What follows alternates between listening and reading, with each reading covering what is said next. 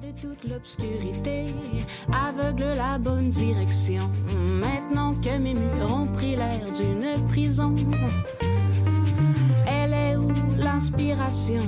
Ailleurs que dans mon salon, où elle pleure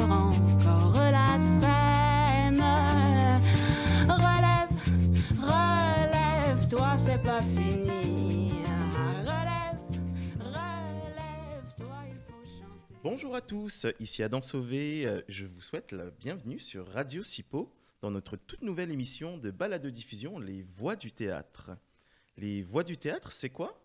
C'est une marmite d'art, de culture et de société, le tout mijoté avec soin en compagnie d'invités divers, et ce autour d'une table et d'un micro. Enfin deux, pour l'occasion. Pour euh, ce premier opus intitulé Les couleurs d'ici, j'ai le plaisir d'accueillir Marie-Claude Daou, marionnettiste. Comment vas-tu Marie-Claude? Ça va super bien, Adam. Merci pour ton invitation. Ben, Merci d'être là. Et avant qu'on entre dans le vif du sujet, pourrais-tu te présenter par la même occasion euh, ton nouveau métier? Oui, bien sûr. Tu as raison de dire qu'il s'agit d'un nouveau métier. Euh, dans mon cas, c'est un changement de carrière qui n'est pas tout à fait banal parce que j'étais par le passé chargée de projet dans le communautaire, dans l'événementiel et dans l'humanitaire pendant plusieurs années. Et euh, pendant que j'étais en train de faire l'humanitaire, en 2014, dans le fin fond de la brousse à Madagascar, j'ai vu mon premier spectacle de marionnettes. Incroyable. Et j'ai eu envie de faire ça dans ma vie et j'ai lancé le souhait à l'univers. Oui. Et je pensais pas que l'univers m'entendrait. Ben. Et quand je suis rentrée au Québec, la marionnette a refait surface. J'ai suivi le filon. Tu l'as pas lâché là. tu non, je l'ai l'ai saisi j'ai continué, puis je me suis retrouvée donc à aller faire le diplôme d'études supérieures spécialisées en théâtre de marionnette contemporaine à l'UQAM. Ok, oui, oui. Formation de deux ans Uh-huh. pour comprendre un peu c'était quoi la marionnette, puis voir les tenants et les aboutissants. J'ai gradué en 2019.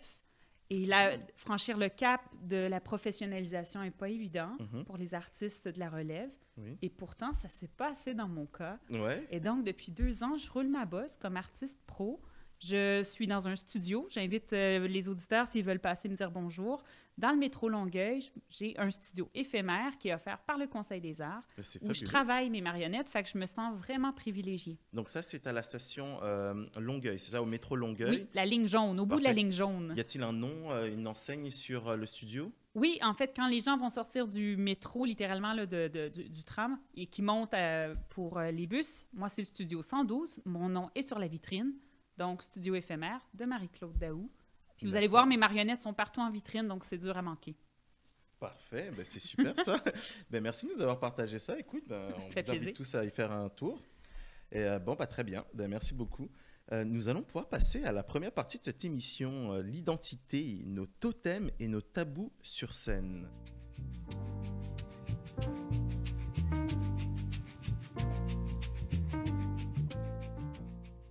Cette première partie, ce qu'on retrouve, euh, ben, il y a l'époque, la diversité, euh, mais sommes-nous rendus à la déracisation?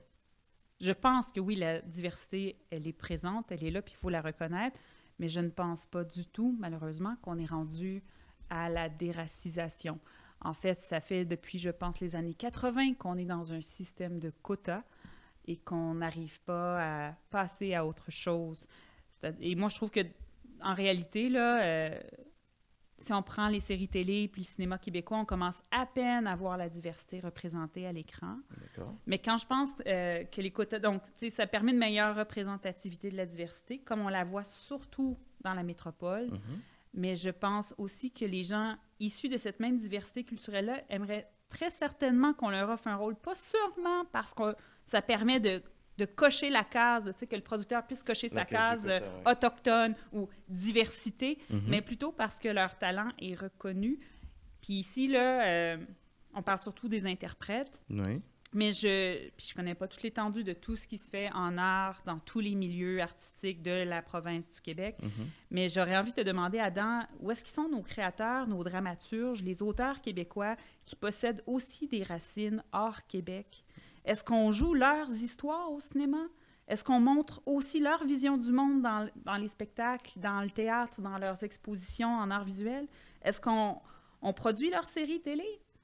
Est-ce qu'on finance leurs projets pour, des, pour que leurs histoires voient le jour? Est-ce que, il me semble qu'il y aurait un changement à faire à ce Oui. niveau-là qui élargirait le discours ambiant si on permettait à d'autres points de vue de raconter l'histoire? C'est ça, c'est sûr que euh, oui, bah écoute, hein, euh, c'est sûr que ça, arrive de plus en plus, oui, on voit de nos, on voit de, de nos jours hein, des efforts de la part des productions, hein, afin qu'il y, euh, qu y, ait des personnes issues de la diversité culturelle, mais pour le moment, je partage ton avis, on est toujours pas à l'étape suivante, qui consiste à éliminer ce concept de quota et ainsi créer euh, cette harmonie de couleurs au Québec et au Canada.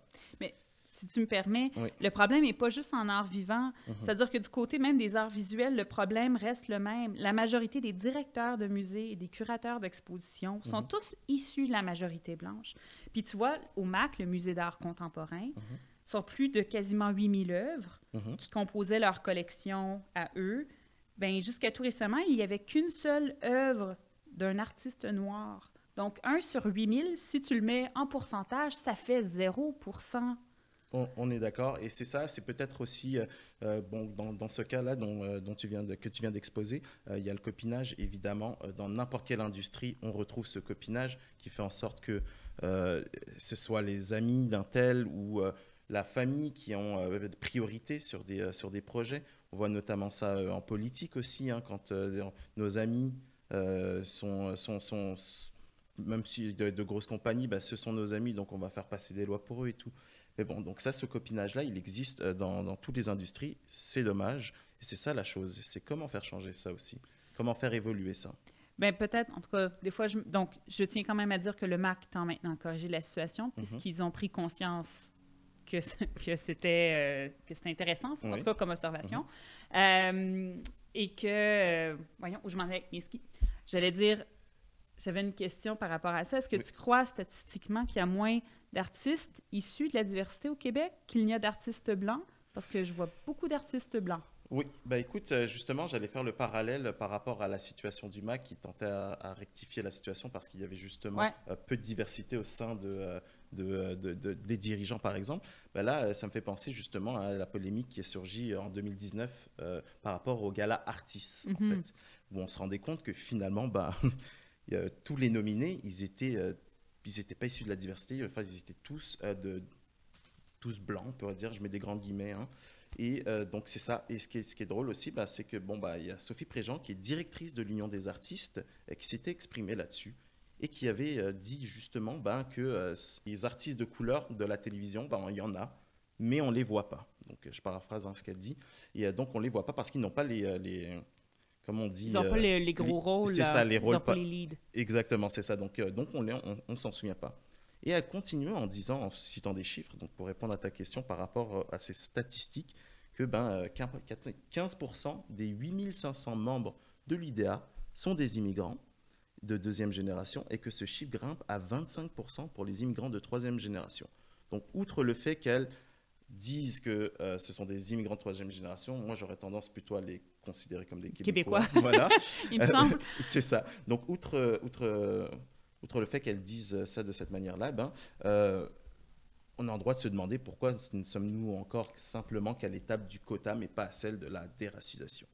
Exact. En fait, je pense qu'il y a une question, euh, puis je l'observais aujourd'hui dans mm -hmm. une rencontre avec la ville de Longueuil sur la politique culturelle. Il y a aussi une question de d'intégrer dans nos gouvernances euh, d'organismes culturels cette diversité-là, c'est-à-dire de permettre dans des postes de décision d'avoir des gens issus de partout pour mmh. que cette, euh, au, au, niveau des décisions, il puisse avoir des gens qui représentent l'ensemble de la population. Oui. Je pense. Ben c'est euh, super piste. ça. Je pense que c'est une piste. Oui, voilà. Bon, on va pouvoir passer euh, à la suite. Euh, donc, nos vaches sacrées.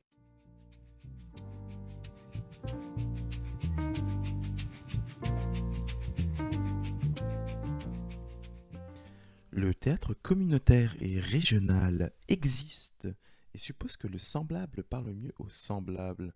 Mais est-ce que c'est une bonne idée? Euh, en fait, je ne suis pas d'accord avec l'affirmation mmh. qui suppose que le semblable parle forcément mieux au semblable, dans la mesure où le théâtre communautaire, à ma connaissance, n'a pas comme objectif d'exclure qui que ce soit, mais plutôt de répondre à des besoins d'une communauté, dans le sens où euh, Bien, on s'entend, une communauté, c'est composé de gens qui occupent un certain territoire, puis le territoire du Québec, il Mhm. est immense, Ah, tout à fait. et, mais il ne contient pas la même proportion d'Autochtones, de personnes issues de l'immigration, de Québécois francophones ou de Québécois anglophones.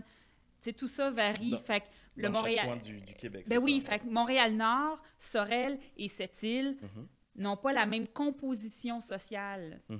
en proportion. Donc, quelque part, si tu fais du théâtre communautaire, dans un espace donné, ben ça va être, tu sais, ça, ça va transparaître dans les gens qui vont, se, qui vont participer à l'activité forcément. Tout à fait, c'est ça. Donc euh, c'est vrai que comme, euh, comme tu le dis, c'est compliqué de pouvoir faire justement euh, traverser un metteur en scène de, de couleur du Québec, par exemple, mais qui vit à Montréal et l'envoyer dans les îles de la Madeleine. C'est compliqué. En tout cas, je, je- moi, j'en reviens toujours à c'était quoi l'objectif du théâtre communautaire? Tu sais, Je pense que l'objectif du théâtre communautaire est toujours de rassembler des gens d'une communauté autour d'un projet commun. Mhm. Hein? Puis ça répond généralement à un besoin d'une communauté. Puis ce que ça permet dans la plupart des cas, c'est l'émergence d'une subjectivité partagée par le groupe, puis ça renforce les liens. Fait que les gens qui y participent développent forcément des compétences, leur esprit, leur sensibilité artistique. Fait que je pense que c'est nécessaire que ça perdure. Euh, Après, il faut toujours, je pense, en tout cas, continuer de cultiver cette ouverture d'esprit et ce, principe d'inclure les gens. Je suis en partie d'accord avec toi. Euh, c'est sûr que euh, oui, ça, permet de faire évoluer euh, du monde et tout, mais même si le théâtre communautaire et le théâtre régional sont plus vendeurs auprès d'une certaine population et peut, comme tu l'as dit, participer à l'autonomisation d'une communauté, ben, je pense que prioriser un certain groupe de gens ou sous prétexte qu'ils ne ressemblent plus ou bien même comme on l'a dit un petit peu que ben, ils sont loin et qu'on n'a pas forcément accès. Est-ce qu'on peut, changer ces choses-là ou pas Moi, je pense que oui. Moi, je pense que oui. Puis, euh, finalement, ce que ça crée, bah, c'est surtout des gaps, hein, vraiment, entre la réelle représentation multicul- multiculturelle de l'ensemble du Canada et du Québec vis-à-vis du public. Et ce qui est dommageable, la, ce qui rend les choses dommageables, bah, c'est pour l'acceptation d'autrui. Et ça, ça marche pas uniquement qu'avec les gens de couleur, mais évidemment tout type de communauté, hein. donc euh, qui fait partie de notre société. Je pense en fait effectivement à tous les groupes euh, avec des besoins particuliers.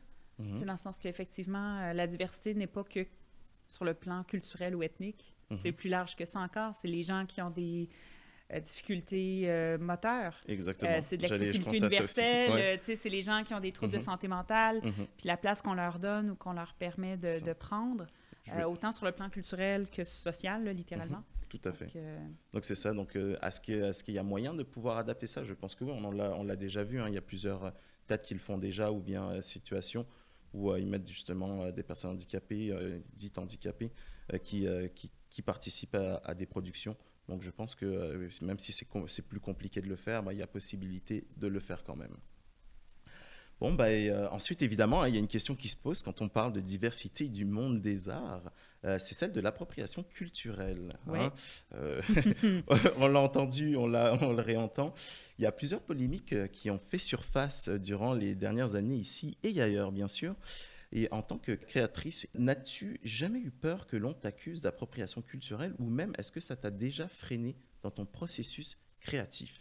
Ben, j'aurais tendance à dire que ça m'a ralenti, euh, que j'avance avec prudence. Moi, ça m'a quand même ébranlé ces scandales-là. Euh, dans le sens que toutes les questions de comment euh, on peut s'approprier un propos pour des communautés qui ont souffert dans le passé. Et donc, moi, ça m'a fait réfléchir, mais vraiment beaucoup sur... Parce que, en gros, je m'intéresse à la question de la diversité. Mhm. Euh, parce que j'ai vécu des expériences à l'étranger. Il y a quelque chose en moi qui a été touché, ouverte. Ouais, ok. Euh, c'est comme s'il y a une empathie. Il y a quelque chose qui existe pour les gens qui ont des parcours migratoires, Mhm. euh, qui n'était peut-être pas là avant. Fait que j'ai envie de dire, j'ai envie d'en parler. Moi, j'en ai vu de la diversité. Je, je le porte en moi, Oui, que je le veuille ou pas. c'est ça. Maintenant, c'est comment on en parle, euh, puis comment on le fait avec sensibilité, puis dans, dans la pleine conscience de, OK, moi, je suis issue de la majorité blanche, Mhm. euh, je suis privilégiée au Québec, euh, mais comment on parle donc de ces choses-là sans être offensante? Mhm. Puis est-ce que j'ai le droit d'en parler? Je pense que oui. Hein? mieux, oui. Je pense que ça fait partie de la liberté de la création, du droit de parole. Maintenant, je pense que ben, il faut le faire avec euh, sensibilité et bienveillance. C'est ça, oui. Euh, je pense que ça demeure super important. Mhm. Euh, ensuite, bon, ben, le questionnement, il m'a- quand même pas empêché de travailler à mon premier spectacle.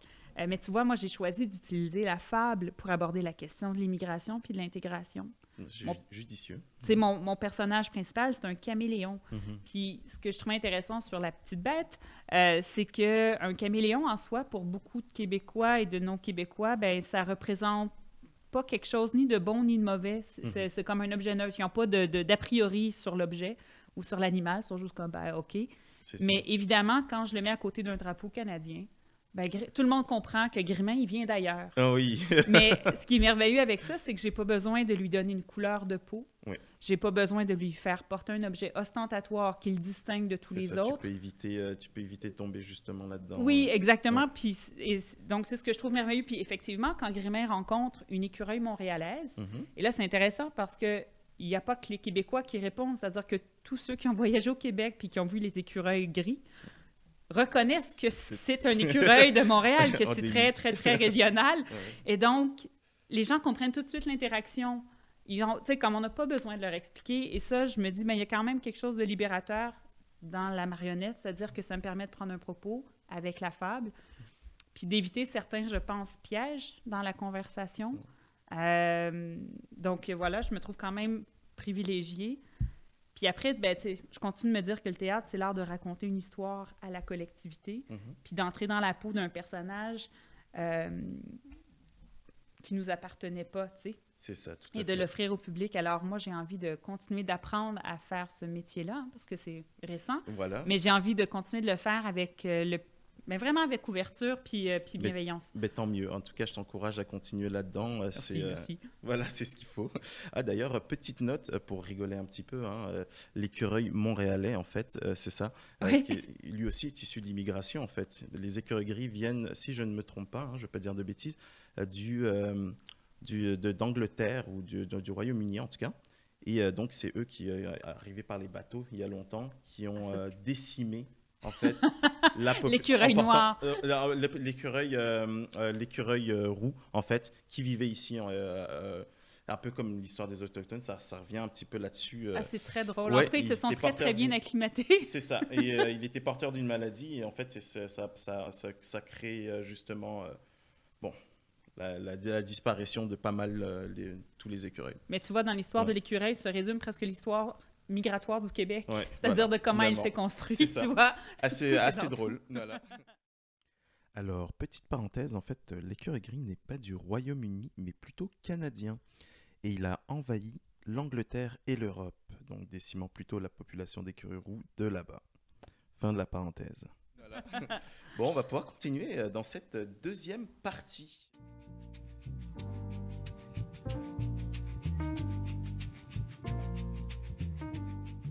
Bon, je l'ai intitulé Le cas de Madeleine. hein. Marie-Claude, euh, je vois que tu apportes avec toi donc euh, une de tes marionnettes hein, qui Oui. s'appelle Madeleine. Oui. Peux-tu nous raconter un peu son histoire? Ben oui, ben en fait, en janvier dernier, je terminais euh, la conception de 18 marionnettes, fait que ça m'a pris beaucoup de temps à faire. Puis j'ai eu besoin de faire autre chose juste pour me vider la tête. Et donc, je suis allée voir dans ce que j'avais d'entamé, mais de non terminé, et j'ai pris la tête de Madeleine, qui est une conception à la base, donc la forme de la tête de Sarah Sabourin. Mais comprenez, quand on a une tête de marionnette, elle est, celle-ci est en plastique, donc elle est blanche. Il faut la terminer, donc il faut lui donner une couleur de peau. Oui. Et avec des nuances, euh, il faut aussi lui faire une couleur pour les yeux, une couleur pour les lèvres. Et là, ensuite, on lui fait une perruque. C'est-à-dire comment on va lui faire les cheveux. Et là, éventuellement, tu l'habilles. C'est plein d'étapes, la marionnette. et donc... euh, On l'oublie, mais c'est, ça fait partie euh, aussi, comment on peut dire, un peu d'art, euh, de l'art visuel aussi. hein, Oui, on est dans l'art plastique, Ouais, effectivement, dans le sens que c'est un objet qu'on transforme. Mhm. Puis, euh, puis c'est drôle parce que dans, quand je me suis mis à faire la patine, je me suis même pas posé la question. C'est comme si c'était ça que j'avais envie de faire. Madeleine avait déjà cette teinte-là dans ma tête. Donc, vous allez, ben, ceux qui vont regarder peut-être la photo, vous allez voir que Madeleine, elle est métissée avec des yeux clairs. Oui. Euh, ce qui me fait sourire, c'est qu'on dit souvent que les, les- les premières marionnettes ressemblent à leur propriétaire. Puis là, vous allez comprendre si- en regardant qu'on se ressemble pas du tout. Oui. Euh, mais, euh, mais je pense qu'il y a quand même quelque chose dans cette conception-là euh, ben, qui fut intéressante. Donc, moi, j'ai donné un corps à Madeleine. Elle avait donc déjà, moi, j'avais fait la tête et sa couleur de peau, donc je savais qu'elle allait être métissée noire. Fait que je lui ai créé en janvier dernier un corps noir. Oui. Mais là, une fois que je l'ai eu, une fois que j'ai eu fait son corps, elle était en vitrine et j'ai été gênée. J'étais comme, je peux pas laisser ma marionnette nue. Oui. En plus, un corps de femme, là, dans le sens que c'est pas, euh, pas un enfant. C'est ça, j'allais, euh, te j'allais te poser la question en plus euh, si elle avait justement suscité des réactions de la part des gens ou bien pas particulièrement. C'était plus par rapport au fait que euh, bah, justement de.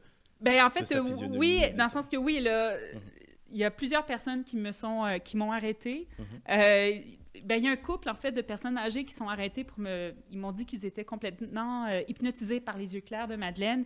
Puis ils sont restés... Ben, évidemment, c'était un peu gênant. J'étais en train de découper les fesses Oui. de Madeleine. Mais là, tu fais « Ah, je m'excuse. Oui. Comment puis-je répondre à votre question? Un instant? Mais euh, surtout, en fait, il y a un monsieur qui est rentré Mhm. et euh, ça a été, sans dire troublant, c'était pas un troublant euh, dérangeant, mais Mhm. en tout cas, je suis restée un peu euh, frappée. Oui. C'est-à-dire qu'il il a regardé Madeleine et il m'a demandé de quelle couleur elle était. Ah, d'accord, ok. Euh, puis là, je dis, ben, vous, selon vous, elle est de quelle couleur? Parce Mhm. que moi, je trouvais que c'était très clair, comprenez? oui. Et elle me dit, ben, euh, mais elle peut pas être noire parce qu'elle n'a pas le visage de couleur unie. Ah. Puis là, je dis, ben, écoutez, là, je lui explique les ombres et les lumières. Puis j'ai fait écouter votre propre visage de Monsieur Blanc. Si Mhm. on le regarde dans le miroir, ben, il y a des teintes de bleu, de mauve, il y a des, plein de tons de couleurs chair qui Oui. sont pas les mêmes. Tout à fait. Euh, et donc, puis comprenez, quand il y a une ombre, c'est un peu plus grisé la peau. euh, tu sais. Donc, la même chose pour Madeleine. Elle peut pas être euh, unie, une seule couleur béton. C'est complètement ennuyeux de toute façon. C'est ça, parce qu'au-delà de, euh, au-delà de sa création physique, euh, il y a ce qui va s'apparenter aussi à l'arrière, le décor, les, les Ben oui. tu l'as, tu, l'as, tu as signifié. Et, et donc, fait que là, je trouvais ça intéressant, mais le monsieur a renchéri parce que c'était pas suffisant. Je pense qu'il y avait plus de questions que ça en me disant, mais écoutez, je comprends pas, elle a des, traits, des traits de visage très fins et donc pas de traits négroïdes. Ah, ok. Donc, euh, il s'attendait à voir en fait une caricature quasiment ou- Ben, je pense que oui, en tout cas, dans ce qu'il avait comme en tête de ce que devait être un ou une noire, je- Mhm. je pense qu'il y avait ça. je l'ai regardé avec bienveillance, hein, parce que dans le métro Longueuil, on, on accueille les gens. Je Ouais. permets aux gens de rentrer puis de Mhm. poser des questions. Donc, je, avec bienveillance, je leur réponds. Puis je me suis retrouvée à lui expliquer que le continent africain, que j'ai visité à quelques reprises, mais j'en ai pas fait le tour, Mhm. ben qu'il est très riche en diversité. C'est- un continent, c'est immense. Le nombre de populations, de, de, de, De tribus, de langues, euh, de, ouais, de ouais, groupes ethniques. C'est, Mhm. c'est- sans dire que c'est infini, mais c'est Ouais. majeur. Là. C'est, vrai. Et j'étais comme donc, tous les Noirs ne se ressemblent pas. Mhm. Ils n'ont pas tous les mêmes traits. Si vous allez de l'est en ouest, c'est pas les mêmes visages que vous allez croiser. C'est pas le, le même teint de peau. Donc, j'étais comme, comprenez, il y a tout ça. Puis là, j'étais ultimement, cher monsieur, peut-être que je vous l'apprends, mais le- le col- la colonisation a amené l'homme blanc sur à peu près tous les territoires sur Terre. Puis, ben, il a laissé sa semence à plusieurs endroits. Ça. Et donc, euh, parfois, c'est, des fois, c'est même pas dans, dans comme très direct en génération, mais des fois, c'est un arrière-grand-père Mhm. dont le gène va ressortir dans, dans l'expression de ta corporalité. C'est ça, ta et tout à diversité. fait. Et même aujourd'hui, je pense qu'on est, on est même beaucoup plus mélangé que ce qu'on pourrait dire et ce qu'on pourrait penser. Euh, Il y a beaucoup de gens qui font des tests justement d'ADN. Oui, ces les trucs. Ancestry et C'est ça, là. voilà, on le voit, on voit pas mal euh, sur Internet, euh, ça, ça, ça pop-up beaucoup. Et euh, justement, bah, les gens ils se rendent compte que finalement, ils ont un pourcentage de, de- de- en eux qui, qui n'avaient pas soupçonné du tout. Et c'est le plus drôle, c'est quand un de leurs parents est un peu raciste et qui découvre que finalement, de leur côté, euh, Ben oui, tu sais, il y, a- y un arrière-grand-père, un ça. ancêtre Ouais, qui... ouais, euh, voilà, qui vient de cette communauté qui cherche à stigmatiser. Donc euh, c'est assez ironique. Mais oui, ok, waouh, eh ben, Et, et le monsieur, donc, tu sais, je Mhm. l'ai accompagné, puis une fois que ses questions étaient répondues, il est reparti comme il est rentré. oui, Et j'ai souhaité l'avoir éclairé c'est ça. Avec le moins de Ouais. jugement possible. Bah, tant mieux, bah oui, bah, c'est ce qu'il faut. Rester dans, la- dans la bienveillance et euh, bah, en même temps, euh, quand on a l'occasion justement grâce euh, au monde des arts de pouvoir le faire, c'est euh, fabuleux. Absolument, je suis d'accord. Bah, tiens, on va pouvoir justement entrer dans cette troisième partie, hein, éviter les pièges ou bien tomber dedans.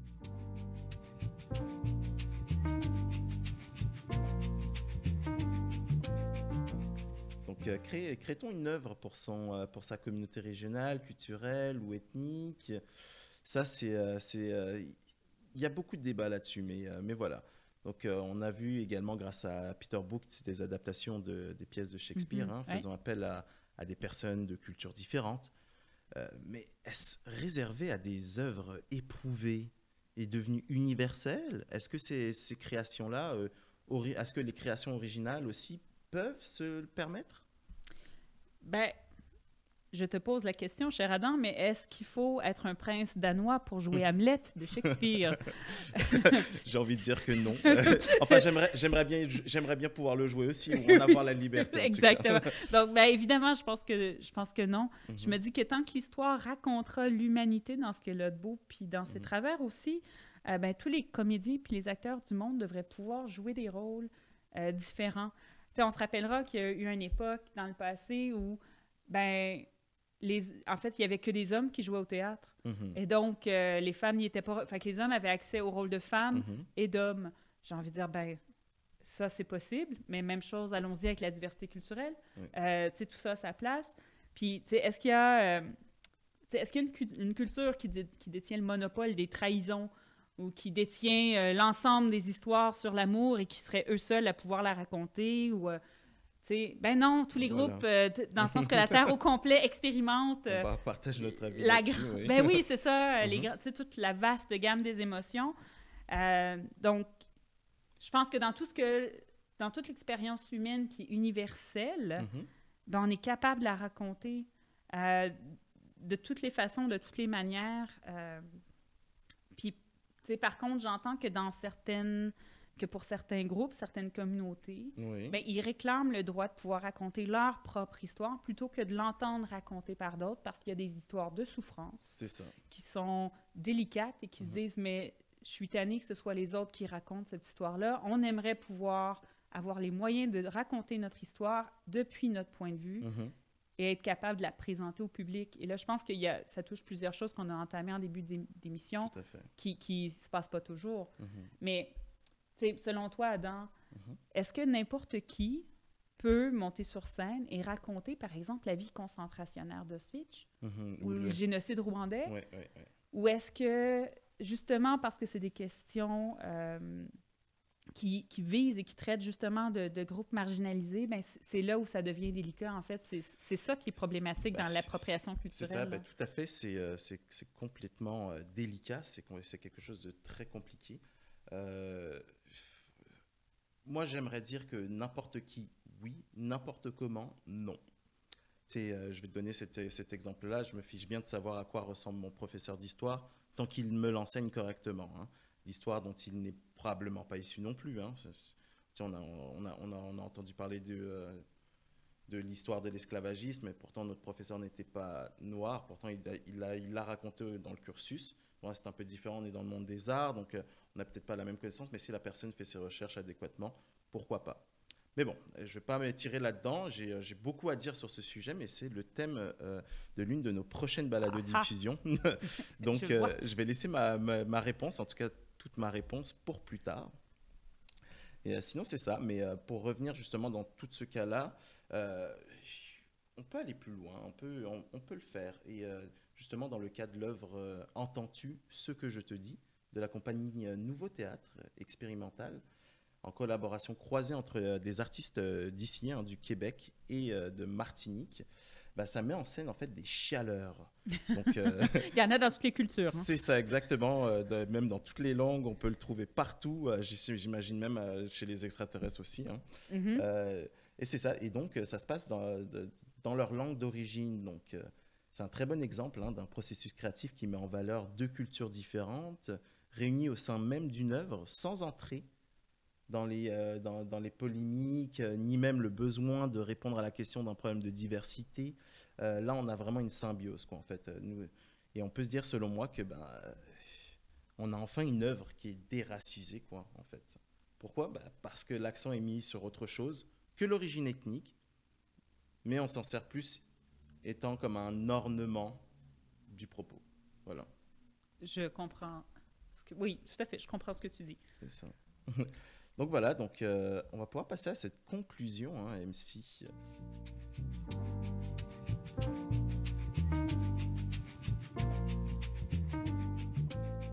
Pour cette conclusion, est-ce qu'il y a un mot que tu aimerais dire? Ben, en fait, je pense que chaque artiste doit avoir la liberté de créer, euh, puis de, je pense que c'est important. Mais en fait, ce que, ce que je trouve intéressant dans la création, c'est que ça part de façon générale toujours de l'individu, de ce qu'il a en dedans, de comment il reçoit ou il perçoit les événements et le monde. Et c'est ça que l'artiste tend généralement à vouloir créer. Si, euh, si j'ai envie de, parler de diversité, Mhm.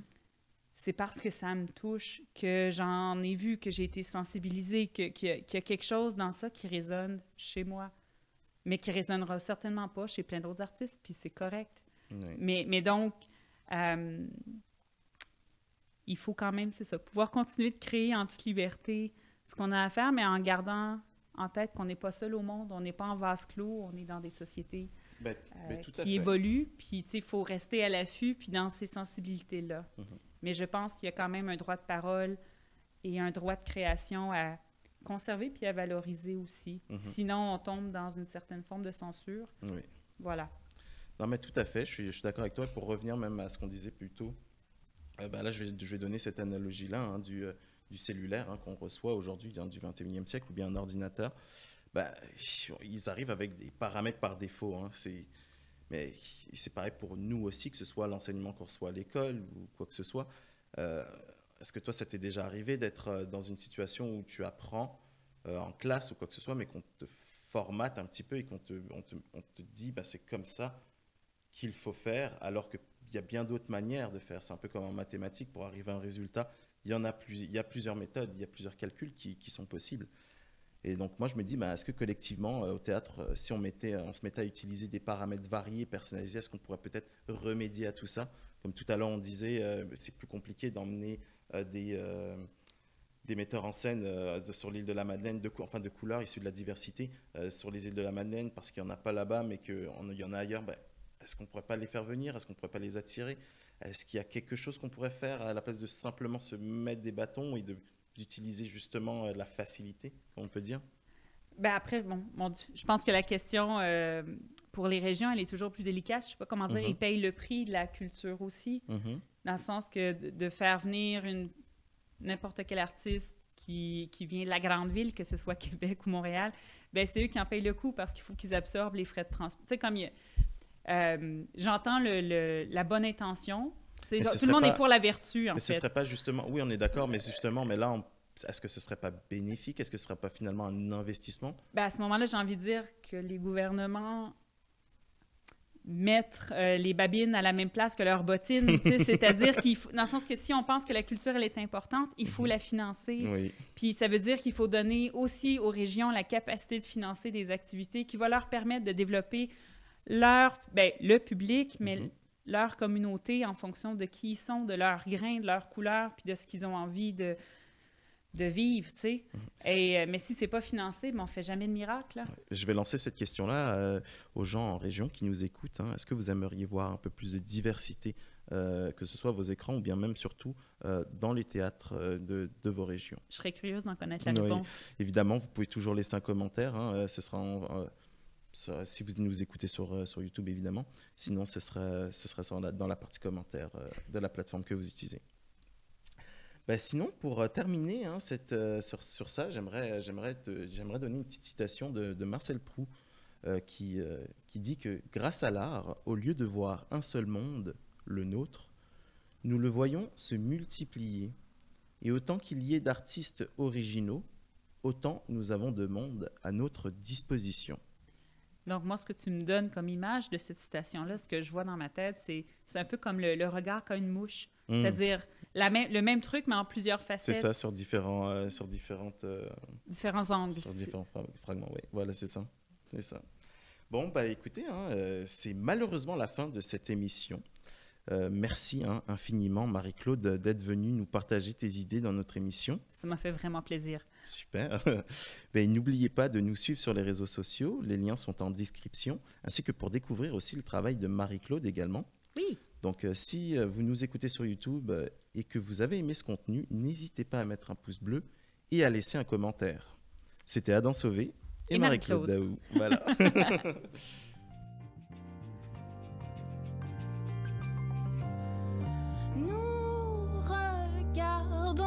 par la fenêtre, quelque chose n'a pas changé. On va tout